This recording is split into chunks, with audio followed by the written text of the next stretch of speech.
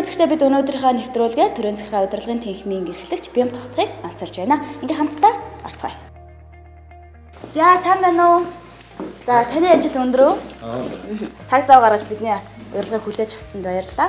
За. Миний ажлын өрөөгөө нэвтрүүлгийг манай хамт олон бас хийдэг байгаа. Тэгэд энэ удаагийнхаа нэвтрүүлэгт онцолж таны ажлын өрөө үзэгчтэй сонирхолтой ирсэн байна. За.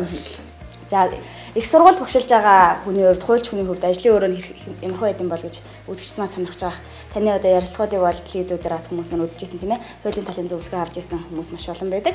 Аа тэр үүднээс бас ажлын өрөөг сонирхолж байгаа. За ажлын өрөөгөө танилцуулах бас бил юм байна. За Бямтагт хуульчийн хувьд өглөө өрөө хэдэн цагт ажилдаа ирж байна? Хамгийн түрүүнд ажил дээр ирээд нь юу гэдэг вэ?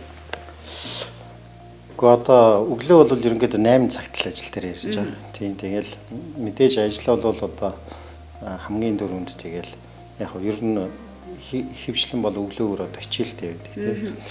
Ер нь хичээлээ заагаал. Тэгэл одоо тэр өдрийн ажил бол ерөнхийдөө хэлж байгаа л та. Хичээлээ заахаас өмнө эхлээд ажлын өрөөнд орж ирж амжина үстэй тийм. А мэдээж өрөөнд орж ирнэ. Тийм өрөөнд орж ирнэ. Тэгэл одоо гадуур уцаа тайлал тэгэл хичээлд орно. Лекц номоо бол ерөнхийдөө өөрөөс бас аваал тий. Таны хувьд засагтхан дэд сургуульд ер нь багшлаад хэдэн жил болж байна техникийн эрхлэгч болоод. За энэ өрөөндөө ер нь бас үүрэг гүйцэтгэх хэр болж байна. За би чинь ер нь оюутны ширээнээс л багшийн ширээр явцсан юм шүү дээ тий. Дөнгөж л одоо би ч Батлан хамгаалахын сургуулийг зүйч мэрэгчлэр төгссөн. Тэгэл шууд л одоо сургуулаа төгсөөл залгуулал магистрантууд илсэл тэгэл дараа жил нь за ер нь 20 2003 оноос л ерөнхийдөө бол засагтаан дэйн сургууль багшилж эхэлсэн. Тийм би чи 2001 онд Батлан амлах сургууль төгсөж байсан. Тэгээд 2005 оноос эхлээд бол одоо хуучин бол манайх менежмент хэрэгцүүн тэнхим хийж явж байсан л та. Тэгээд тэр үеэс тэнхимийн эрхлэгч хийгээд тэгээд 2008 онд бол манайх төрийн захиргааны удирдлагын тэнхим болж өөрчлөгдсөн. За тэгээд 2005 оноос л хойш одоо дүүгээ чинь 12 дахь жилдээ тий техник эхлэгчийн одоо энэ ажлыг бол гүйцэтгэж байна. За энэ өрөөнд бол одоо удаж байна авч байна. Тий. За. Та ширээн дээр байгаа зүйлүүдээсээ танилцуулаач. За ширээн дээр байгаа зүйл.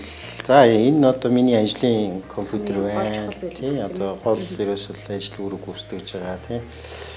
Сүүлийн үед бол бас э, энэ одоо захим ертөнц бол бас маш хүчтэй болсон. Тэгэхээр захим ертөнцөөр дамжуулаад бол сүүлийн үед үзэл бодлоо бас нэлээ өөрийнхөө хэмжээнд илэрхийлэхийг бас ирмэлцдэг. За энэ бол яг та миний ингээд нэрийн хуудас байж байна. За энэ миний аяг байж байна. А өөрийнхөө зурагтай. Танаа сургуулиас дурсагсан уу? Тийм оюутнууд одоо багш нарын баяраар Аа за. 2014 оны 10 сарын 6 гэж. Аа. За оюутнууд дурсан. За яг энэ тэгэл манай одоо энэ сургуулийн хэмжээнд зохион байгуулагддаг бас тэнцээ уралдааны цомууд байна. Тэгээ бид нар чинь багшлагын хажуугаар бас чөлөө цагаа зөв боловсон өнгөрүүлэхийг хичээн тий. За тэр утгаараа бол бас тэнцээ уралдаанд оролцсноо. Тэгээ сагсан бөмбөгийн тэмцээн, гар бөмбөгийн тэмцээн гэдэг. Тэгээд би бол яг үнийхээ актер одоо даарцаар бол нэг хичээлж байгаагүй. Тэгээд саяхан энэ Батлан амлах сургуулийн одоо төрийн захиргааны удирдлагын тэнхмийн 20 жилийн ой болоо. Тэгээд энэ төрийн удирдлагын чиглэлээр сургууль жуулдаг сургуулиуд ийм багш нар оролцсон. Тэгээд тэр даарцын тэмцээнд одоо санамсаргүй байдлаар орсон. Тэгээд манайхан мөнгөн медаль авсан байна. Оо за. Тэгээ гар бөмбөг даарцаар нийлбэр дүнгээрээ манайхан хоёул одоо хоёр төрөл дээр хоёулаа мөнгөн медаль аваад тэгээ шилжиж явах цомыг бас авч ирсэн тийм. Ийм байна. Тэгээд энэ за энэ тарийн дөрөв бол яг хөө тэгээд одоо эд баялаг эд баялаг тийм найвчхыг биелэгддэг ийм зүйл байна. За. За энэ бол яг манай ингээд сургуулийнхаа сургуулийн туг. Тэгээд саяхан бас манай сургуулийн одоо хэдэн жилийн өмнө бол манай сургууль 15 жилийн болж ирсэн. Тэгээд 15 жилийн хойдоо зориулаад манай сургуулийн одоо лого юм билэм тий бас өөрчлөгдсөн. Тэгээд тэрүүгээрээ энэ сургуулийн туугийг бол хийсэн байна. Энэ ард байгаа зураг их анхаарал татчихсан л да. Ихэвчлэн хүмүүс ч одоо нөгөө нутгийнхаа зургийг өөрсдийнхөө шүтэн уулынхаа зургийг ч юм уу. А яг зүр ер нь бол манай сургуулийн одоо үүсгэн байгуулагч нар бол одоо хоолтой хүмүүс шүү дээ. Аа зэ. За тэгээ тэр утгаараа манад бол одоо энэ гоолтаагаас бас нэлээ олон хүмүүс ирж суралцдаг тийм мэдлэг боловсруулаад ижлүүлдэг. За энэ бол яг сүрлэг одоо алтай зураг. Аа. Алтай тийм. Ер нь бол одоо манай энэ нөгөө уул их нь баруун талдаа гэдэг шиг ер нь бол энэ завхан гоолтай тийм баруун тишээ бол одоо сүрлэг үйл ихтэй шүү дээ. Тэгээд энэ оюутнуудын маань бэлгэлсэн зураг байна л да. Тэн дээр бас нэг зураг байж байна. Аа тэр бол яг одоо бас л сайхан байгалийн тийм адум ал тусгасан юм зураг. Тэгээ энэ одоо оюутнуудын маань л бэлгэлсэн зураг тийм тийм учраас бас хүндэтгээд ингээд өрөндөө заасан байна. За. Таны хувьд бас ном гаргадаг гэж сонсч ирсэн тийм ээ. Тэгэхээр мэдээж ажлын өрөөнд нь гаргасан ном бүтээлүүд нь байгаа. Номын тавир дээр нь ямар ямар төрлийн номнууд байна? За яг мэдээж би ч одоо миний үндсэн мэрэгжил бол хуульч мэрэгжил. Хуулийн чиглэлийн номнууд энэ дэс нэлээд байна. Тэгээ төрийн албаны шалгалтанд бэлтгэж хилийн сургалт бол зохион байгуулж байгаа. Төрийн албаны шалгалтанд бэлтгэх гарын авалга бас байна. За одоо миний сонирхол гэх юм да тий. Тэгээ би ч өөрөө бас яруу найр гих сонирхно. Тэгээд яг 10 жилдээ бол бас нэлээд тэмцээн оролдоо яруу найргийн тэмцээн оролдоонд бас орж ирсэн. За яг хөө гэхдээ учиргүй ч одоо нэг тийм актер авиастын яруу найрагч биш учраас бол яг яруу найргийн чиглэлээр бас дагнж яваагүй. Гэхдээ яг миний өөрийн сонирхол учраас бол энэ тэнд бас шүлэг найргаасаа бас нэг боломж олдвол бас нэг уншиж чинь тий. За ингэ явдаг. Тэгээд яг энд бас нэг шүлгийн уран зохиолын талын бас номнууд байна. Тийм ээ. За энэ нэг хэдэн номнууд байгаа. Тэгээд таны гаргасан ном байна. Тий, одоо 2005 онд бичижсэн. Миний төрийн хиншилгалт гээд яг тухайн үед бол энэ тухайн үед ч яг ер нь одоо ч энэ төрийн хиншилгалтын талаар бол бас бичсэн ном бол ерөнхийдөө байхгүй гэж хэлж болно л та тий. Тэгэхээр энэ яг зүгээр ер нь бол бас анхдагч болоод ингээд Тэр энэ төрлөөр сурах байгаа хүмүүсийн хувьд их том Тийм энэ төрийн удирдлагын чиглэлээр дээрэс нь одоо энэ хуулийн чиглэлээр суралцж байгаа юмуд бол бас нэлээд судалдаг юм ном л доо. За энэ бол 2005 онд 5 онд гэсэн байна. За энэ бол 2004 онд энэ төрийн хэн шалгалт гэдэг энэ анхных нь хэвлэл. Аа за. Саяных бол одоо хоёр дахь хэвлэл нь байна л да тийм ээ. За ийм ном гаргаж ирсэн. Тэгээд энэ яг төрийн удирдлагын чиглэлээр хуулийн чиглэлээр суралцж байгаа ихэнх одоо ихтэй зургуудын номын санд бол байдаг. Тэгээд тухайн үед бол бас цөөн тоотой хэвлэгдээд. Аа. Ингээд одоо бол яг энэ худалдаанд бол ерөнхийдөө байхгүй зүгээр ном гэж ярих юм бол гарын авлагууд л одоо нэлээх гаргаж байна л да тий. За би яг зүгээр энэ э, төр ихсэн онол гэдэг энэ 2010 онд гарсан ном л да. Тэг яг зүгээр энэ номыг э, бичгтээ бол хуульч оюутнуудын одоо энэ ширээний ном байгаасаа гэж бодож бичсэн бас нэлээн одоо өөрөө бол их тийм ойлгомжтой талаас нь бичих гэж оролцсон. Тэг ийм ном байгаа юм. Тэгээд энэ тухайн үед бол бас 8 жилийн өмнө ном тийм. Яг ер нь зур хуулийн чиглэлийн сургуулиудын ихэнх бас энэ номын санд бол байдаг сургалтанд нэлээд ашиглагддаг. За яг энэ номны талаар бол зарим бас хуулийн чиглэлээр суралцж байгаа суралцж исэн энэ нөхдүүд бол их сайхан ном болсон байлээ гэж бас нэг сэтгэлийн уран бол. За яг энэ гарын авлагууд бол бас байна л да. Ер нь зөвөр өөрийнхөө заадаг энэ чиглэлүүдээр одоо бизнес хийх зүгээр гарын авлага гаргасан байна. За сая бол би нэг олон улсын Улаанбаатар их сургууль гэдэг Улаанбаатар их сургуульд хөдөлмөрийн эрх зүй гэдэг хичээл заасан. Тэгээ яг хоо энэ хичээлийг зааж авах хугацаанд бол би энэ хөдөлмөрийн эрх зүйн чиглэлээр гарын авлага гаргасан. Тэгээд яг хоо бусад номнуудаас бол нэг онцлог нь бол яг хоо алдаа бол ажиллах тасгал юм юу те. За энэ бол яг хоо ингээд энэ онд гаргасан. Тий, энэ онд гаргасан. Одоо энэ төрийн удирдлагын чиглэлээр бас дотор нэг 4 5 хичээлийн юг нэгтгээд ерөнхийдөө ингээд гаргасан. За энэ за тэгээ яг За энэ сэтгүүл ямар учиртай? Зарим гарын авлагууд бол яг бас энд байхгүй. За яг хөө тэгээд э, янз янзын бас боломж олдвол сэтгүүл мэтгүүл бас ярилцлага өгөн тийм. Тэгээд энэ crazy point гэдэг Тэгвэл ярьцлага өгсөн юм байна. Ярьцлага өгсөн тийм. Хүн өөрийгөө үнэлж чаддаг байх хэрэгтэй гэсэн байна. Тэгээд энэ сэтгүүл дээр бас миний ингээд хэлцлэг. За хүн өөрийгөө үнэлж чаддаг байх хэрэгтэй гэсэн та ер нь өөрийгөө хэр үнэлдэг хүн гэж боддог вэ? Гэхдээ яг нь ер нь тэгээд одоо хүн өөрийгөө бодиттой л үнэлэх хэрэгтэй юм шиг байна л да тий. Одоо ингээд хараад ахаар чинь зарим хүмүүс бол өөрийгөө хэтэрхий их дөвлгээд байх. Ер нь баг дөвлгэж үнэлдэг хүмүүс нь ч их болцсон юм да тий. Аа тэгээд зарим хүмүүсийг харахаар өөрсдөө хэтэрхий үнэлдэггүй ч юм уу өөртөө одоо хэтэрхий итгэлгүйч байдаг юм уу тий. Ийм хоёр хандлал дамгаалаад ах шиг санагдаад байна. Нэг хэсэг нь бол хэтэрхий дөвлөл, нэг хэсэг нь бол хэтэрхий өөрсдөө энэ жоохон одоо хүч чадлыг жоохон дутуу үнэлдэг ч юм уу тий. Тэгээ уг нь бол хүн өөрийгөө жоохон бодиттой л үнэлэх хэрэгтэй юм шиг байна л да. Үнэхээр би энэ Э, асуудлыг шийдэх чадах надад тийм хүч болцоо байна уу те. Яг тэгээ болж өгвөл баг зэргийн бас илүү жоохон дүүйлэх маягтай те. Байвал илүү л байх л гэж ингэж болдог. За. За энэ бол яг миний одоо үнэмлэх жуух бичгүүд байх шиг байна. Ингээ шагналаад байх шиг. Аа. За засагтхан дэд сургуульд профессорын диплом гэж байна. Тийм. За би тэгээд яг энэ дэд профессор гэдэг цол чинь яг Ер нь бол хийсэн нөгөө судлаа эрдэм шинжилгээний ажил тэр ямыг үнэлээд ерөнхийдөө өгчдөг юм шагналтай. Тэгээд 2007 оны 9 сарын 28-ны өдөр тийм дид профессор гэж цол. Профессор болоод одоо 11 жил. Тий. За ингээд дид профессор. За энэ бол яг ингээд шагналууд маань байна л да. За одоо энэ хамгийн том шагнал гэх юм бол энэ байна л да. За. Босрлын тэргүүний ажилтан гэдэг. Сэтгэл ухааны сайдын тушаалаар. Тэгээ 2011 оны 1 сая 19-ний өдөр гэдэг.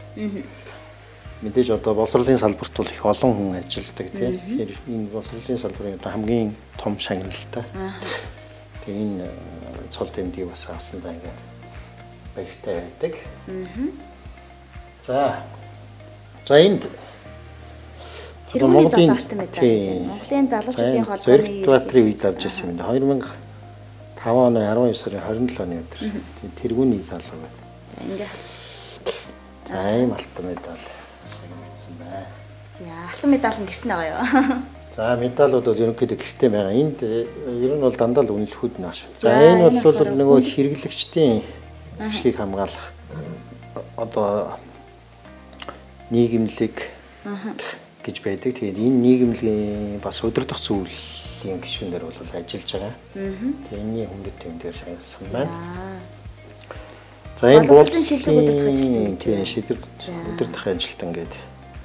За энэ бол Монголын боловсролын Ахмад удирч удирдах ажилтны холбоо гэж байд юм лээ. За энэ тэр холбооноос бол олгосон. Ийм шагнал байна. Боловсролын салбарын бараг ихэнх шагнал болсон шүү бараг.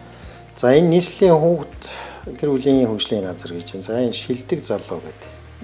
Аа 16 онд. Тий 16 онд авч ирсэн. За. За ийм юм. За тэнд магистрийн диплом нь харагдаж байна. Улаан дипломтой төгссөн байна. Аа тий. За энэ нэг ийм дэлхийн Монгол тургалтны урлаг спорт эрдмийн авиаснуудын холбоо гэдэг За энэ их сонин шагнал. Энэ их сонин шагнал. Харин тийм байна урлагийн авиастан. Урлагийн авиастан гэдэг одоо би тэгээ гайхаад би чи нь өөрөө ч гайхсан шүү дээ. Аа гисэн чи энэ яагаад энэ шагналыг олгосон бэ гэдэг ингэсэн чинь нөгөө бас яруу найргийн авиасан маань үнэлсэн юм байлээ. Одоо шүлэг яруу найр бичдэг. Би чинь түрүү яруу найрыг бичдэг гэсэн. Одоо бол би нэг 3 дууны шүлэг бол бичсэн байна. Одоогийн байдлаар бичсэн шүлгүүдээс. За тодорхойлбол ямар ямар дууны шүлэг За шүтээ аав гэдэг аавын тухай. Тэгээд э, одоо цэргэрийн сэтгэл гэдэг цэргийн тухай. Тэгээд ингүү очтон гэдэг аав ээжийн тухай гэдэг. Ийм гурван шүлэг бол бичсэн байна. За энэ болохоор нөгөө босролын яамны одоо босрол соёл шинжилгээ ухааны яамны жуухчиг. 2008 оны 1 сарын 23-ны өдөр авсан байна. Тийм. Дугаар 8811 гэж байгаа тийм байна. За ийм жуухчиг ингэж шагнагдсан байна яруу найраг бичдэг гэснээс танд ер нь өөр төрлийн авиас байдаг уу? Дуулдаг, бүжигэлдэг. Уу яах вэ? Одоо тэгээд нэг хэсэг чинь одоо ТV караоке гэж хамгийн анх явагдсан шүү дээ. Нөгөө алтан гэрэл хөтэлдэг тий. Тэгээд ТV караокед бид нэр орсон. Тэгээд 5000 долларын төлөө өрсөлдөх ирэх авсан. Тэгээд миний дуулдагч гэж юу вэ? Тэгээд Гэтэ тэрнээс хойш бол энэ жоохон карикад бас дуулах гэдэг шүү. За энэ бол яг миний магистрийн диплом байна. Батлан болох сургуулийг. А магистра батлан болох гэсэн. Болох. За бакалавр хандсан. батлан хамгаалах сургуулийн хөлийн зэргийн дээд сургууль гэж одоо тухайн үед бол хөлийн зэргийн дээд сургууль батлан хамгаалах сургуулийн харьяа байсан. Ааха. За энэ бол яг нэг юм дурсгалын зүйл байгаа. Бид нэр одоогоос 4 жилийн өмнө энэ хятадын одоо Хубэй имиж гэдэг тийм Хубэй имижийн одоо хааст гэж манайхаар бол шинжлэх ухааны технологийн сургууль. Тэгээд шинжлэх ухааны технологийн сургуулийн харьяа одоо public administration буюу төрийн удирдлагын сургууль гэж байгаа. Тэгээд тэр төрийн удирдлагын сургууль дээр бол бас нэг 10 хоногийн сургуультанд суугаад мэрэгжил дэвшлүүлсэн. Тэгээд тэр сургуулийн маань захирал одоо биелүүлсэн. Дурсгалын. Энэ дурсгалын зүйл одоо энэ дээр нэгэ сайн харах юм бол сургуулийн нэр нэр байх шиг байна тийм сургуулийн зураг. Тийм сургуулийн зураг ингээ харагдаж байна. Одоо эндээс л сайн. Тийм байна тийм байна. Ааха. Тэгэхээр таны хувьд ер нь хүмүүс чинь нэг хобби сонирхлын зүрх гэдэг чинь марк цуглуулдаг хүмүүс гээл байдаг. Тэгээ таны хувьд ер нь юу цуглуулдаг вэ? Цуглуулга байдаг. Яг нь ер нь би ч одоо багасаа эхлээд марк л их цуглуулдаг байсан шүү дээ. Одоо бол яг нь гэрт бол миний энэ төр маркетинг цуглуулга бол байгаа л та. Одоо ажил дээр бол дандаа ном ажил дээр ерөөхдөө тийм сургуулчраас тийм ээ. Одоо тэгээд дандаа юм ном сурах хүчийг талын юмуд бол холцоо юм л та. Энэ англи хэл дээр номнууд нэлээх байх шиг байна. За яг англи хэл дээрх номнууд яг зүгээр яг бас тодорхой хэмжээнд бол судалдаг тийм. Мэдээж аливаа асуудлыг бас гүнзгийрүүлээд судлаа гэхээр бол манай энэ хуулийн салбарын чиглэлийн асуудал бол бас орос хэл дээр, англи хэл дээр л төлөхөө шүү дээ тий. Тэгэхээр бол тэр чиглэлээр зайлшгүй одоо үзэж харах судлах хэрэгтэй юмнуудыг бол бид нар бас судалдаг л та тий. За. За энд нэг юм жижиг юм байгаа маа энэ Хамгийн хөдөлмөрч багш би. хөдөлмөрч багш гэдэг тий. За. Нэг юм одоо тухайн үед энэ нэг зураг мурагтай байсан юм а тэр зураг мураг нь харин байхгүй болчихсон. Хэдэн онд ирсэн юм да?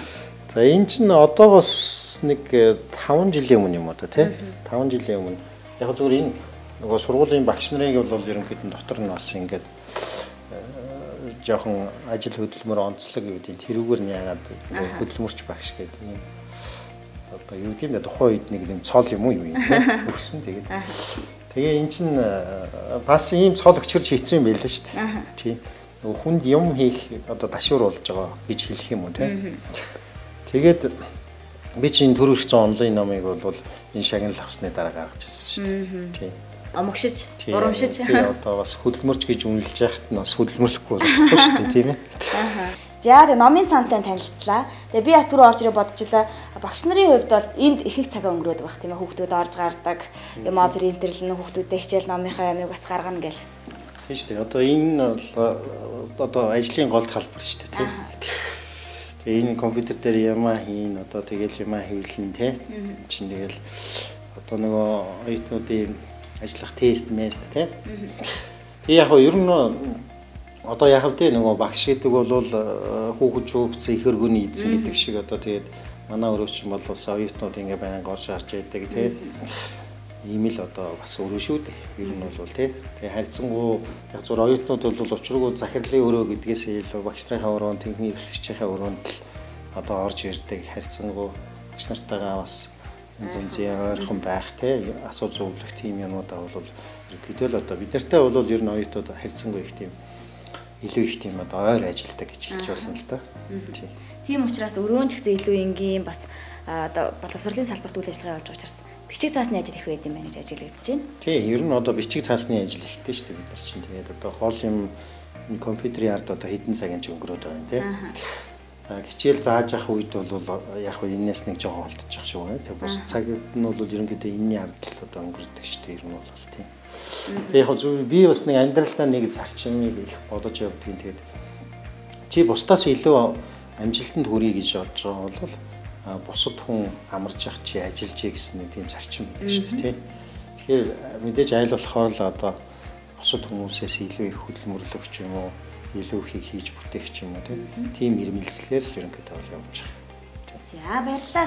Тэгэхээр бас цаг зав гаргаж биднийг ажлынхаа өрөөг сонирхолж ярилцсанд маш их баярлалаа. Тэгээ таны ажилдаас илүү өндөр амжилтыг хүсье. За баярлалаа. Тэгээд энэ сайхан нэвтрүүлэгтээ үрээд тий. Тэгээд ажлынхаа өрөөг бас бяцхан ч гэсэн танилцуулах боломж олгосон танаа хамт олонд бас баярлалаа. Тэгээд ажлын амжилт хүсье. За баярлалаа.